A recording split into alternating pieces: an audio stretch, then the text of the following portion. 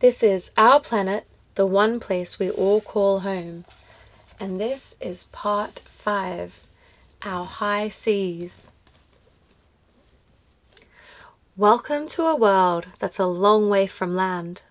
Our high seas stretch far and wide. Beyond the boundaries of any country, these wild kingdoms are home to incredible marine life. And in this picture, we can see a humpback whale as it roams the open ocean.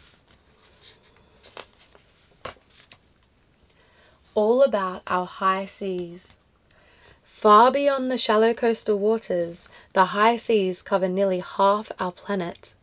They are owned by nobody and are vital to the health of our world. The high seas support life from the deepest ocean floor to the surface, and even beyond. Seabirds soar above and dive into the water after food. The Wilson's petrel is one of the most common, a plucky little bird that flutters above the water and scoops out plankton with its feet. Sharks patrol the waters, along with fast moving schools of tuna and squadrons of spinner dolphin, up to 1,000 strong. In crossing these watery wildernesses, the spinner often leaps from the water to earn its name by twisting through the air. In places, the high seas can be more than 11 kilometers deep.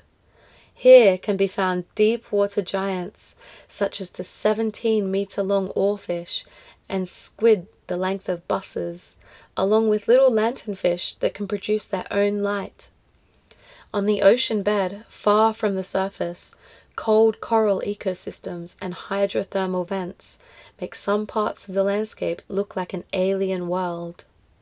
From top to bottom, the high seas are one of the world's richest spaces for life on the planet.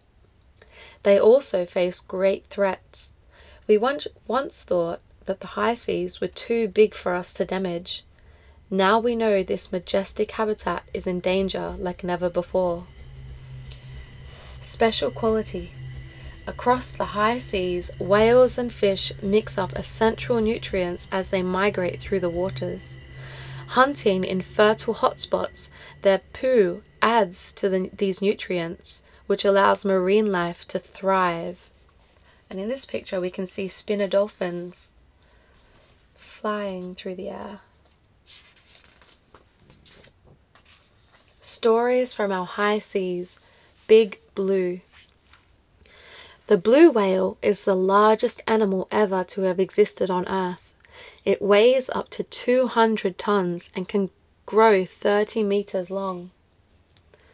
These graceful giants roam every ocean from the tropics to the icy poles, and yet much of their lives remain a mystery to us. Despite its vast size, the blue whale stays out of sight for much of the time. In fact, we still don't know where they go to breed. We have only recently discovered a few special places where blue whales come close to shore, like the Gulf of California on Mexico's Pacific coast. Here we find the world's biggest newborn, a baby blue.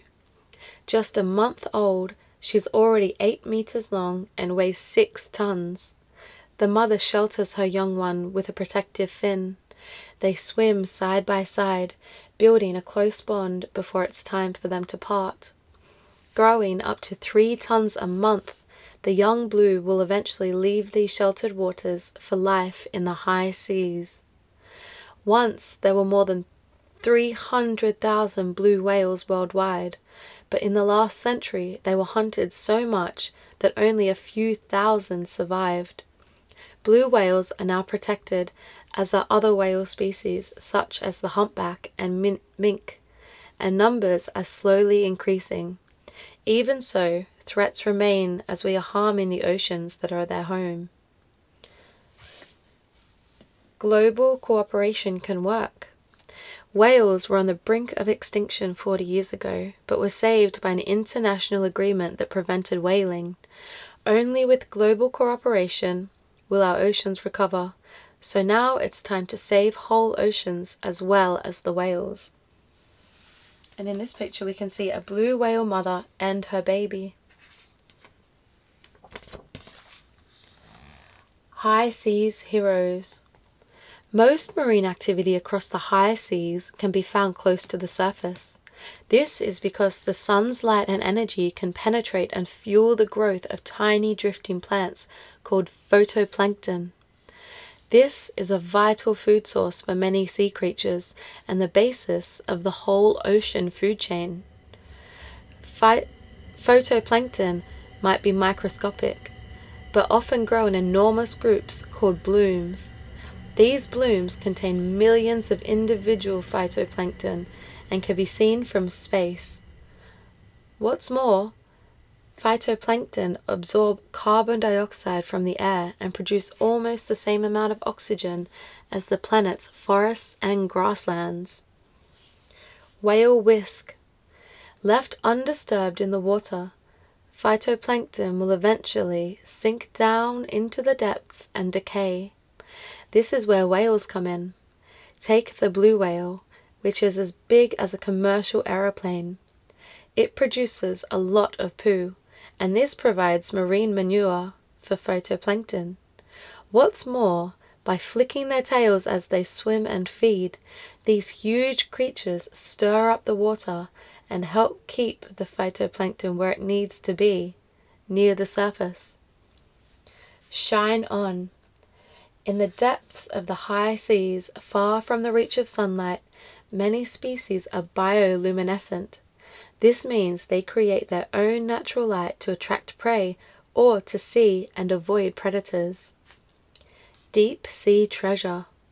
We used to think that corals were only found in the warm, sunny shallows. Astonishingly, deep sea corals are thought to cover a greater area of the sea floor in the cold and dark depths of the high seas than their shallow water relatives.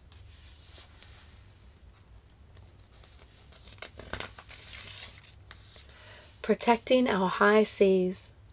Hope for the high seas. Recycling responsibly is one thing, but imagine a world in which nothing is thrown away.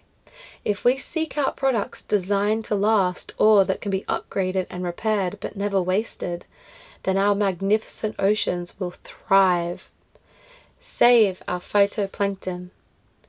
To protect these microscopic microscopic but mighty marine plants, we need to care for the marine life that relies upon them, from the smallest fish to the largest whale.